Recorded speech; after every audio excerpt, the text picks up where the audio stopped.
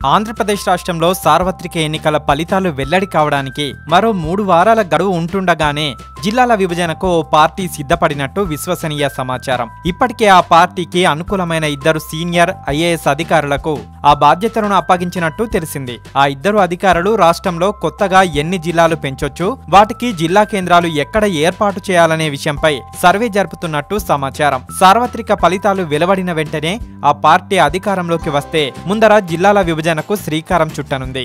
జిల్లాల విభజన తర్వాతే స్థానిక సంస్థల ఎన్నికలను నిర్వహించాలన్న ఆలోచనలో ఉన్నట్టు తెలిసింది. ఒకవేళ జిల్లాలను విభజించకుండా స్థానిక సంస్థల ఎన్నికలకు వెళ్తే జిల్లాలు పెంచేందుకు మరో ఐదేళ్ళ పాటు ఆగాల్సి ఉంటుందని దానివల్ల రాజకీయ పునరావాసాలు ఉండవన్న ఆలోచనలో ఆ పార్టీ అధినేత ఉన్నట్టు సమాచారం. ఇప్పటికే వారి అంచనా ప్రకారం రాష్ట్రంలో కొత్తగా మరో పదిహేడు జిల్లాలు ఏర్పాటు చేయడానికి అవకాశం ఉందని భావిస్తున్నారు. రెండు వేల ఇరవై ఆరులో నియోజకవర్గాల పునర్విభజన చేయాల్సి ఉన్నందున ఆ సమయంలో పార్లమెంటు నియోజకవర్గాల వారీగా జిల్లాలను ఏర్పాటు చేస్తే బాగుంటుందన్న ఆలోచనలో ప్రధాని మోదీ ఉండగా ఇక్కడ మాత్రం అధికారంలోకి రాగానే కొత్త జిల్లాలను ఏర్పాటు చేయాలని ఓ రాజకీయ పార్టీ అధినేత సన్నాహాలు చేస్తున్నారు.